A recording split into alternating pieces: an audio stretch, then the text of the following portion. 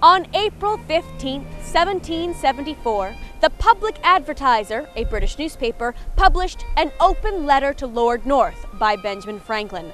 Dripping with sarcasm, Franklin encouraged martial law in the American colonies, the appointment of a king's viceroy of all North America, and even suggested selling us to Spain after bleeding us dry with taxes. While Benjamin Franklin was not serious about his proposals, Lord North took him at his word on some points, imposing martial law on Massachusetts. So much for a British sense of humor. This Day in History brought to you by the Freedom Trail Foundation, partnered with the Massachusetts Teachers Association to bring history to life.